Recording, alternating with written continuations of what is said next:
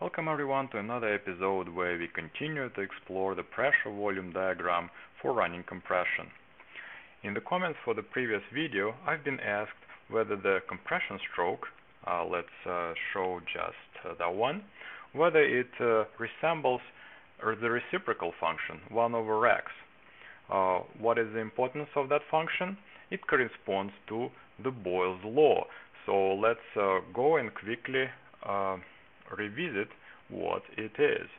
So Boyle's law states that the pressure expressed as absolute pressure uh, for a given mass of ideal gas will be inversely proportional to the volume it occupies if the temperature and the amount of gas remain unchanged throughout the process. And so mathematically we will be able to write that pressure multiplied by volume will be a constant. Uh, and so the pressure inversely proportional to the volume will give us exactly the reciprocal function. However, if we go and try to plot it on our graph, we will not get the reciprocal function. Our pressure transducer values will be rising faster as the piston approaches the TDC than the blue line, the Boyle's law line, shown here. And the question now becomes how to explain this crazy difference.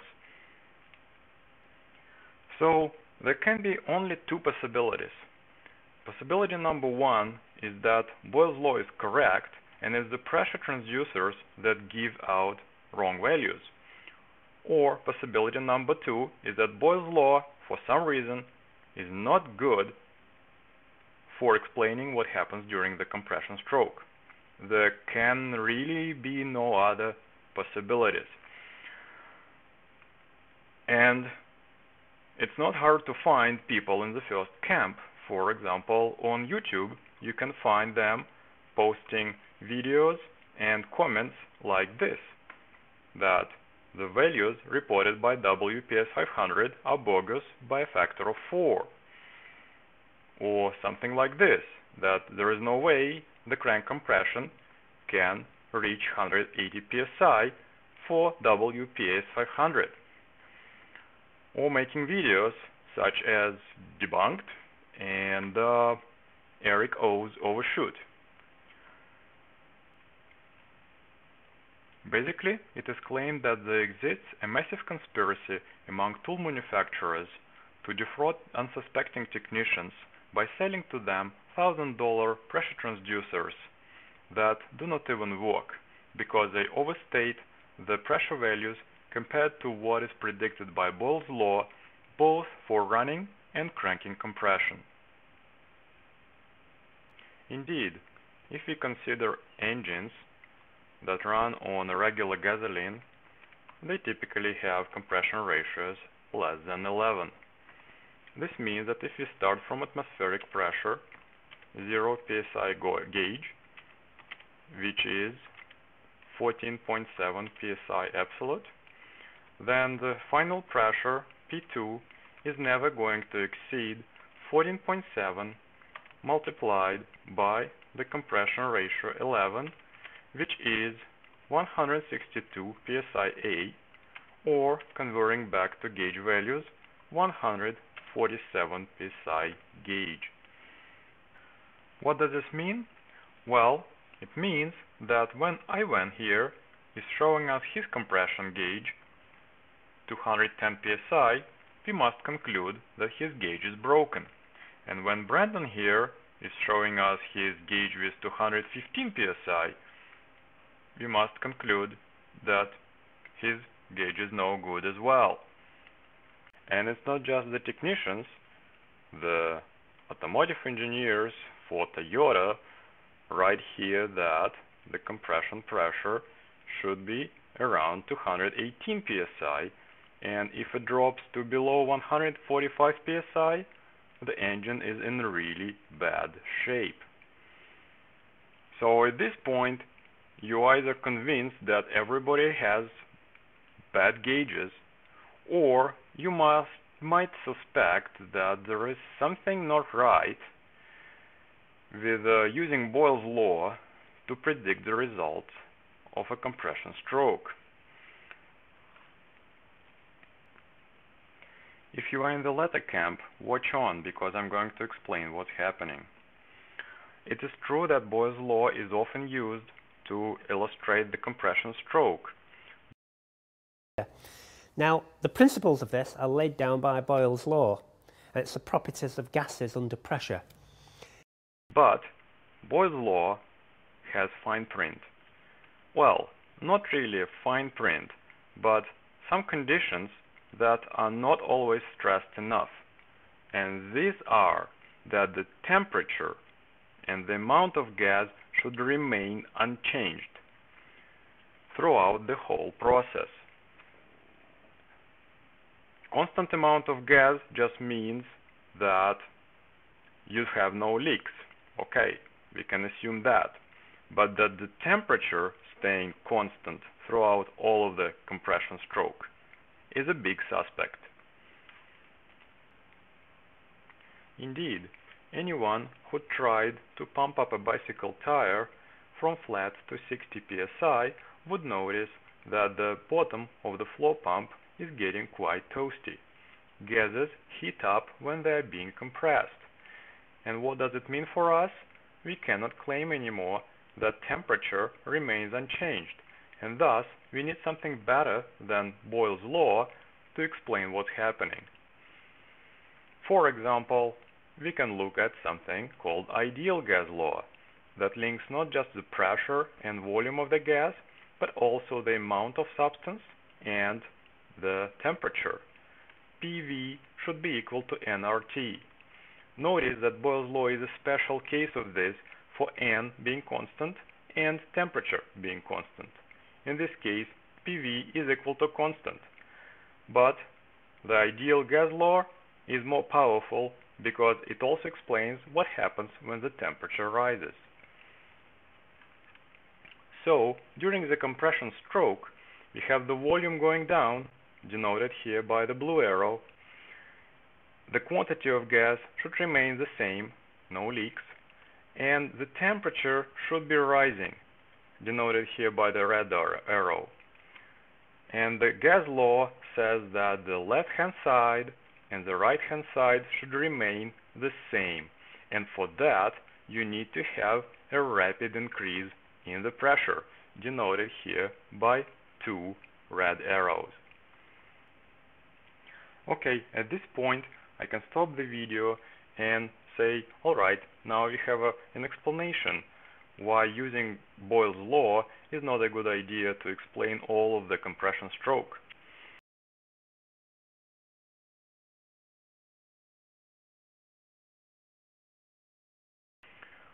But if we actually want the formula that gives us the final pressure during the compression stroke, ideal gas law is not enough because it doesn't really tell us how fast the temperature is rising and thus how fast exactly the pressure is rising. To understand what's going on, we have to dig deeper and add the law of conservation of energy into the mix. You see, when the piston is compressing the gas, it performs work and that energy is getting transferred into the gas. Thus, the temperature of the gas rises. If the compression process is fast enough, there will be almost no time for the heat loss through the cylinder walls. However, if the compression process takes a while, then there will be, there will be some heat loss through the cylinder walls. Let's consider first a situation where the compression process is fast enough so that we can ignore the amount of heat loss.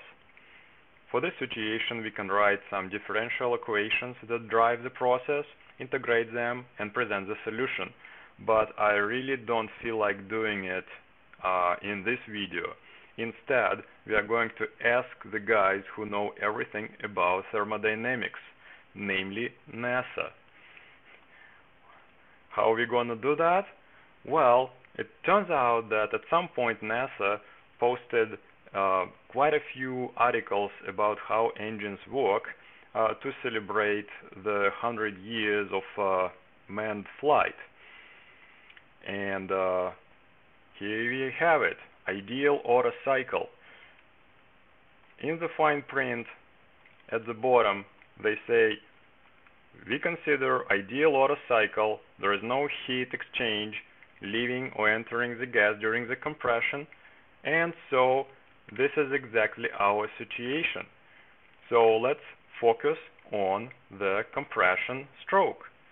We have a compression ratio, R, and they say that if we start from pressure P2, then eh, finish at pressure P3, the ratio is going to be that compression ratio R raised to the power of gamma, which is called the ratio of specific heats, is equal to 1.4 for air. And this is explaining what will happen to the pressure during the compression stroke when there is no heat loss.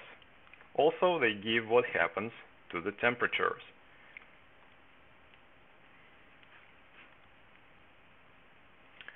So you can go and actually read the whole article. It's a very good read if you can go through the equations. But what does it mean for us? For us, it means that instead of Boyle's law, which is P multiplied by V is equal to constant, in the extreme case when no heat is lost to the cylinder walls, we have P multiplied by V raised to the power of 1.4 equal to const. Quite a different function. Now what we are going to do is we are going to plot it. Plot both functions and compare them. Alright, this should be pretty easy to do in Octave. So let's open a fresh copy and first we need to plot the reciprocal function Here you go. Not bad. Now we need to add that function with uh, the exponent 1.4. Uh, so let's uh, plan ahead and uh, plot it in a different color. So we need to plot x to the raised to the power of 1.4 again in the region 0.1 to 1 and set the attribute color to red. And this is it. What do we have? Well we have a different curve that starts out pretty much like 1 over x. Remember that's Boyle's law but a little bit after a while it just takes off and ends up far far far away from it. Now this is the whole essence of uh, this function is that it rises very rapidly and this is appropriate for compression stroke during high RPM because that's where the piston is moving so fast that there is absolutely no time for the heat that is being built up to escape through the cylinder walls.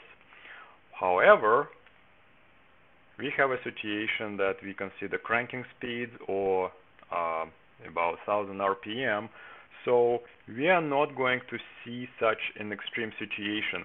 There will be some heat loss through the cylinder walls and so our curve is going to be somewhere between those two extremes between 1 over x and 1 over x raised to the power of 1.4. How does this function look like? Well, let's take a look at uh, those uh, processes again on the one hand we have PV equal to const. Let's write it down as P multiplied by V raised to the power of 1. And the next one is almost the same, but V is raised to the power 1, 1.4. So why don't we imagine a process that looks like P multiplied by V raised to the power of uh, some other coefficient, let's say nu,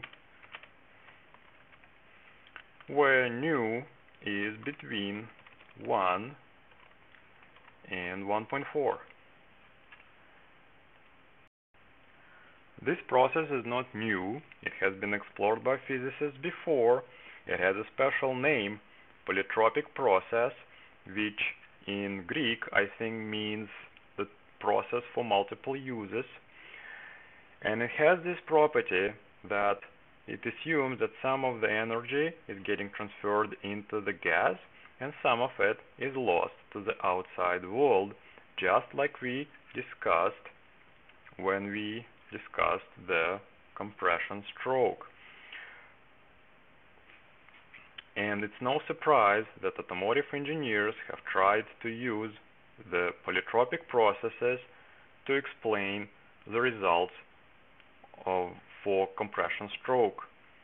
Sometimes they just use it as is, and sometimes they split the stroke into several parts, and for each part they would be using the polytropic process with a specially carefully chosen value of nu. And we are going to do exactly just that for our situation. So let's go back to Octave where we have our favorite pressure volume diagram with this curve being the pressure transducer data and the blue one being the Boyle's law prediction. And we are going to add a polytropic process curve uh, with a coefficient 1.3 for the second half of the compression stroke. So I have a command to do just that so let's execute it and take a look at the graph. So what we see is that for the second half of the compression stroke, we have almost perfect correspondence to the pressure transducer data. It just goes very closely until it intersects with the Boyle's law prediction at around 270 milliliters and for the first part of the compression stroke we can assume that Boyle's law is good enough.